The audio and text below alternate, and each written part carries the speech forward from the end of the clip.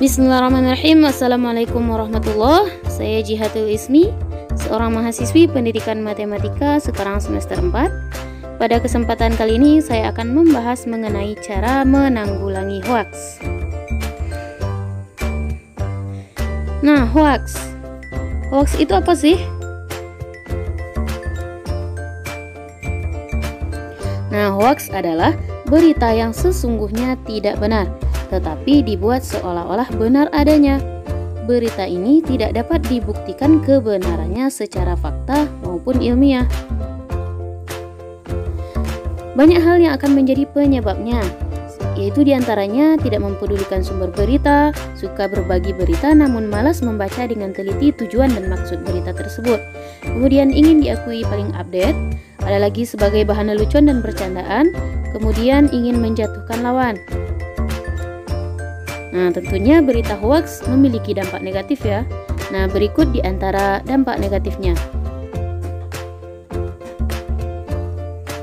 Itu memicu kepanikan publik, mengundang perpecahan, masyarakat merasa ditipu, kemudian merugikan dan menurunkan reputasi korban. Ada lagi hilangnya kepercayaan publik dan masih banyak lainnya. Nah, kita juga harus mengetahui jenis-jenis dari hoax, yaitu ada misinformation atau informasi yang salah, ada confirmation bias atau bias konfirmasi, ada juga clickbait atau tautan jebakan, nah yang terakhir ada propaganda.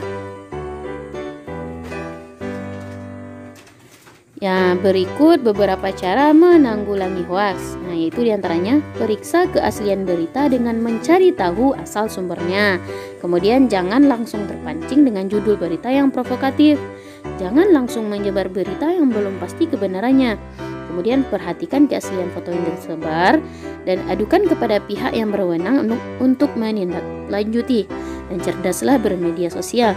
Yang terakhir, Carilah kesibukan dengan hal-hal yang bermanfaat serta dapat menambah ilmu dan wawasan kita. Nah, semoga kita semua tidak menjadi korban ataupun pelaku dari hoaks. Sekian dari saya, banyak maaf. Wassalamualaikum warahmatullahi wabarakatuh.